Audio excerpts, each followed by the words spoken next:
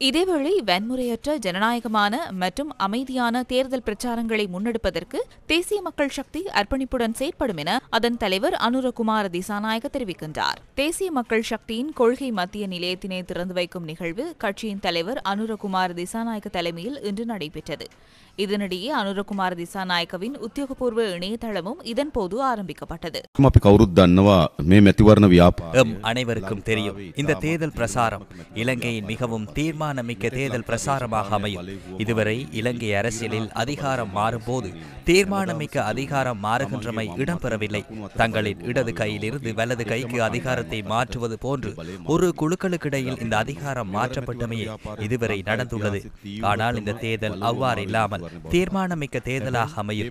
அதிகார மாற்றத்தின் போது தேசிய மக்கள் சக்தியாகிய நாங்கள் ஜனநாயகத்திற்கும் சட்டத்திற்கும் உட்பட்டு அமைதியான முறையில் இந்த தேர்தலை நடாத்துவதற்கு எமது பக்கத்தில் உள்ள அர்ப்பணிப்பு எமது பக்கத்தில் உள்ள தலையீட்டினை முடிந்தளவு நாம் வழங்குவதற்காக தயாராக உள்ளோம். மோதலற்ற ஜனநாயகம் அமைதியான தேர்தலை நடாத்துவதற்கான பிரசாரத்திற்காக தேசிய மக்கள் சக்தியாகிய நாம் தயாராக உள்ளோம். இருப்பினும் ஏனைய தரப்பினரால் என்ன காட்டப்பட்டுள்ளது? ஜனநாயக ரீதியில் தேர்தல் பிரசாரத்தில் பங்கேற்பதற்கு பதிலாக இருக்கின்ற சட்டங்கள் அல்லது இருக்கின்ற நிலைமைகளை பாதுகாப்பதற்கு பதிலாக தேர்தல் பிரசாரத்தில் ஊழல் மற்றும் மோதல் சூழ்நிலைகளை உருவாக்க விரும்புகின்றார்கள் என்பது தெளிவாகின்றது. விசேடமாக பத்தொன்பதாவது அரசியலமைப்பு திருத்தத்தின் ஊடாக தேர்தல் ஆணைக்குழுவிற்கு அதிகாரம் வழங்கப்பட்டுள்ளது.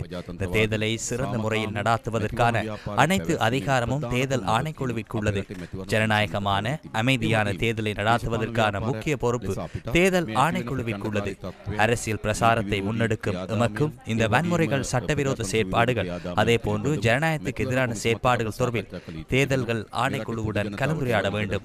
அதனால் இந்த நாட்டில் எந்த ஒரு பகுதியிலும் இடம்பெறுகின்ற தேர்தலை மீறுகின்ற செயற்பாடுகள் தொடர்பில் அறிக்கையிடுவதற்காக நாம் இன்று மத்திய நிலையங்களை உருவாக்கியுள்ளோம். அதனால் இன்று நாங்கள் உருவாக்கியுள்ள இணையதளம் நாட்டின் பிரஜைகளுக்கு தேசிய மக்கள் சக்தியும் நாட்டின் பொது மக்களுக்கும் இடையில் சிறந்த உறவை பேண முடியும். அதே போன்று இந்த இணையதளம் ஊடாக பிரத்யேகமாக ஏஐ போர்ட் ஒன்றை உருவாக்கியுள்ளோம். இதனூடாக எந்த கேள்வியையும் கேட்க முடியும். அதற்கு ஏஐ தொழில்நுட்பத்தின் ஊடாக உடனடி பதிலளிக்க முடியும் அதனால் சிறந்த தேர்தல் பிரசாரத்தை முன்னெடுப்பதற்கான விசேட சந்தர்ப்பமாக இதனை கருதுகின்றேன்.